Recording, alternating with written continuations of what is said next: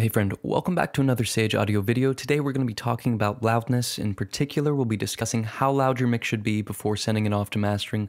Now, there's a lot of misinformation out there, a lot of people telling you to make your mixes louder than they need to be. Hopefully we can set the record straight and you'll learn some things about mixing, about mastering, and something called normalization and how all these things tie in to creating a great sounding mix and master. So let's get into it. But before we do, if you find this video to be helpful, please like and share it with your friends and colleagues. Just as important, if you could subscribe to the channel, it would be greatly appreciated. Lastly, if you're an artist or an engineer or both, send us one of your mixes at sageaudio.com. We'll master it for you and send you a free sample. So, historically speaking, mastering has always been a way for records to compete with one another sonically. It started when record labels discovered that if they boosted 3 kHz on their records, it would sound better on the radio, and in turn, people would enjoy these records more.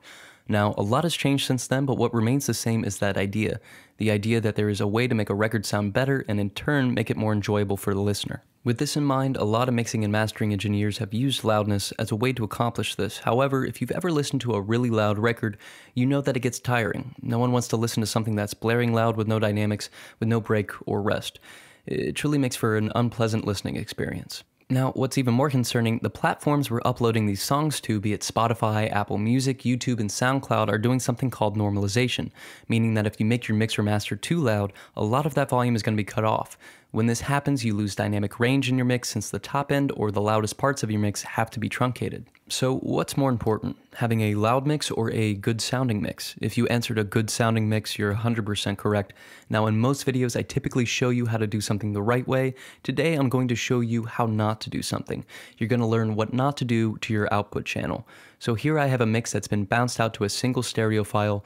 Let's take a look at the metering when I play it.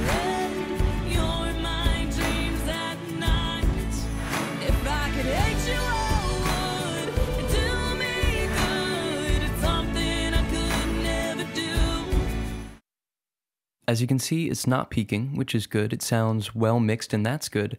So what do I need to change here before sending it to a mastering engineer? Honestly, nothing. This mix is done and it's ready to be sent. Here's what a lot of engineers do though. They insert a limiter and pull back on the threshold to increase the overall volume.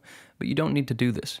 So long as your track is peaking between negative 18 dB and negative 3 dB on your output, a mastering engineer is going to know what to do with it, how to get it to the right levels, and how to make it sound great. If you make your mix louder than it needs to be, all you're doing is making it more difficult for the mastering engineer to do their job properly. Here is one plugin that you should insert on your output or master fader. Notice it isn't iZotope's Maximizer, it's iZotope's Insight, a plugin that can tell you the LUFS or loudness unit full scale of your mix. Now here's where normalization comes in. Take a look at this. This is directly from Spotify's FAQ. These are targets for mastering engineers. Notice that Spotify not only normalizes your audio, it offers listeners options for how loud they want to hear your music. Look, on the loudest setting, your mix is at negative 11 LUFS. Let's check where this mix is now.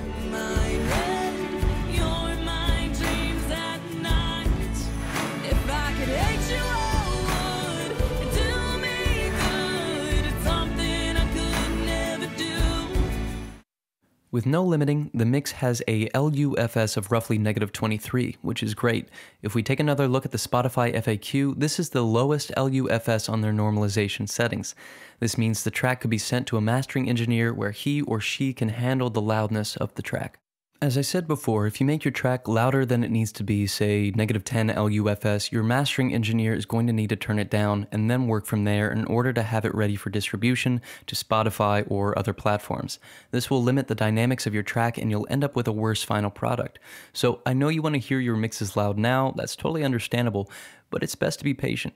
If you want to hear how loud it would sound, then yes, you can use a limiter to make it as loud as you want, but know that this isn't what you should be sending your mastering engineer. Again, peaks between negative 18 dB to negative 3 dB on your output is great. This ensures your noise floor is covered. Even better is a LUFS of negative 23.